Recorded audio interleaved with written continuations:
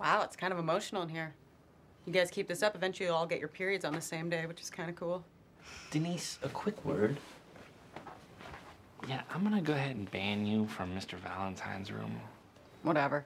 All the patients are stable, so I'm just gonna go catch some Z's in the on-call room.